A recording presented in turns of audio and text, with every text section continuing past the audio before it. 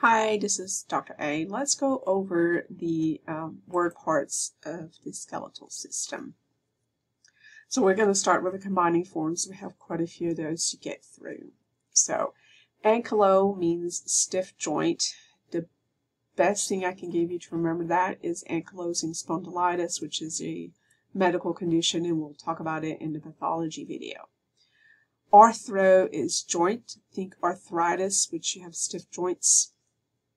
And articulo is also joint, and another word for joint is an articulation, and that's where articulo comes from. Burso means sac. Uh, carpo means carpus, which is your wrist bones. Cervico means neck. And chondro means cartilage. Claviculo means clavicle. Coccygo means coccyx, which is, uh, you know, your butt bone basically, a uh, little almost, well, tailbone kind of really. Cortico is outer layer, cortex. Uh, costo is rib. Cranio is skull, cranium. Femoro is femur. Fibulo is fibula. Humero is humerus. So the femur is your thigh bone and the humerus is your arm bone. Ilio is ilium or hip bone. Ischio is ischium, which is also part of your hip bone.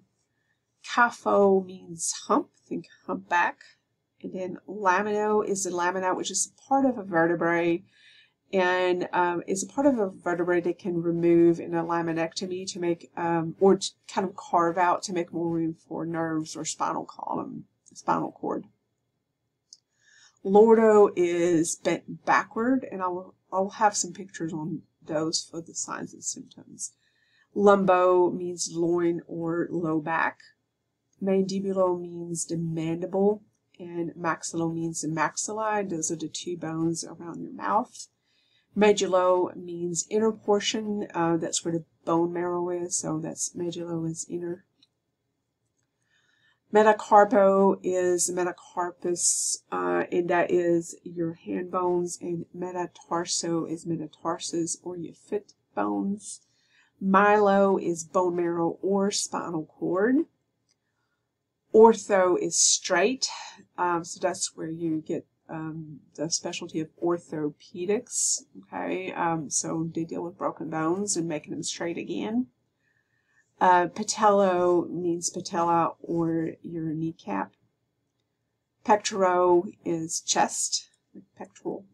And then uh, pedo is foot, meaning or child. And so pedo for foot, okay, uh, pedal, for example.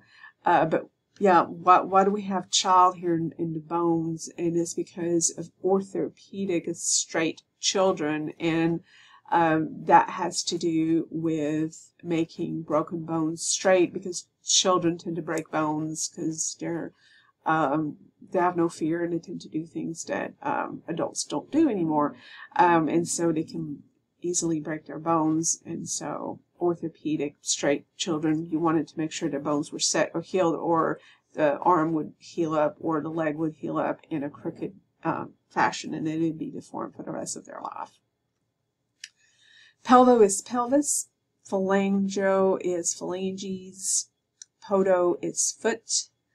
Prostheto is addition, so like a prosthesis. Uh, to be, um, you know, a, let's say, fake or, um, you know, synthetic arm or leg. Pubo is uh, pubis. Radio is radius or ray. Sacro is sacrum. And scapulo is scapula or the uh, shoulder blade. Scolio is crooked, uh, and so it's uh, more of an S shape, so sideways crooked shape of the uh, spinal column. Spino is spine. Spondylo is vertebrae. That one's kind of hard to remember because it's hard to associate those two, but spondylo means vertebrae. Sterno means sternum. Synovio or synovo both mean synovial membrane. Tarso means tarsus, which are the ankle bones. And thoraco means chest or thoracic, right? Tibio means tibia. and uh, that's one of is the shin bone, one of the lower leg bones, and ulno means ulna, which is one of the forearm bones, and vertebro means vertebra. That one's easier to remember because that one actually makes sense. So let's go over a few suffixes. So blast is immature. So an osteoblast is an immature bone cell and it creates new bone. Clasia is to break surgically. So sometimes you have to break it surgically to reset it. And we're talking about a bone. Uh, desis is to fuse. So fuse bones together or fuse vertebrae together. Listhesis is slipping, so thinking vertebrae slipping. Logic is pertaining to the study of or logy. Uh, and porosis is porous, think osteoporosis, so weakening of bones with them becoming more porous. And then we have two prefixes. Dis is a part, think dislocation, dislocation of a joint, and then non means not. So that's pretty easy. So, all right, that wraps up all words, word parts for the skeletal system. And next video, we will have signs and symptoms.